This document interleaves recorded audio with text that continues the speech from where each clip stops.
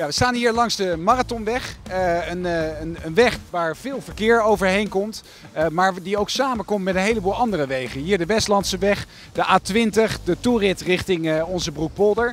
Allemaal wegen die samenkomen en die nu eigenlijk vrij onlogisch in elkaar zitten. En we gaan ervoor zorgen samen met Rijkswaterstaat en Baak om dit een logischer kruispunt te maken, zodat het verkeer beter afgewikkeld kan worden.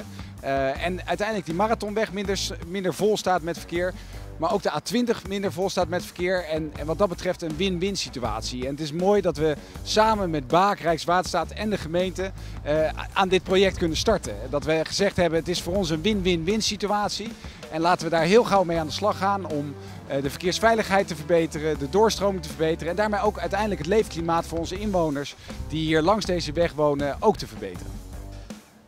Ja, hier, hier achter mij ligt de, de afrit komende uit Maasluis naar de Marathonweg. En wat we gaan doen, is dat we die afrit gaan verleggen. We gaan hem verleggen vanaf de uh, huidige plek direct tegenover de Westlandse weg. Waarom doen we dat? Uh, op dit moment als je rechtsaf gaat, komende uit Maasluis, krijg je direct weer een verkeerslicht. Straks zit hij recht tegenover de Westlandse weg. Dan heb je maar één verkeerslicht. Dat maakt de verkeersafwikkeling veel makkelijker. Ook komen er meer opstelruimtes hier achter mij. En dat maakt het weer beter dat we geen terugslagfile kunnen krijgen op de A20 mocht het hier opstropen. Dat is niet het enige wat we gaan doen. We gaan ook de oprit naar Maasluis gaan we verbreden naar twee rijstroken. dat betekent dat het verkeer komende, uh, vanaf de marathonweg ook veel sneller de snelweg op kan rijden. Waardoor uh, de verkeersafwikkeling op het onderliggend wegennet veel makkelijker gaat. De plannen die zijn al, uh, al vorig jaar uh, tot stand uh, gekomen. Toen is er veel overleg geweest tussen de gemeente Vlaardingen, Rijkswaterstaat en Baak.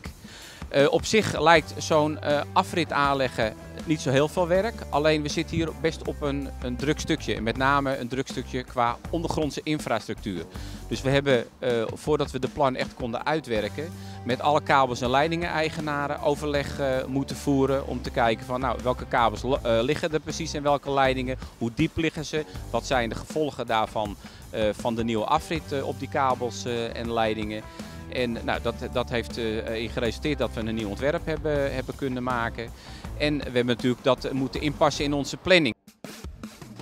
Dus uiteindelijk gaan we nu uh, die nieuwe afrit, die wordt hier achter mij, uh, zijn de voorbereidende werkzaamheden aan de gang. die wordt vanaf medio volgend jaar, worden de werkzaamheden echt uitgevoerd. Gaan we de nieuwe afrit gaan we aanleggen, zodat ze hem waarschijnlijk ergens eind volgend jaar ja, in werking kunnen nemen.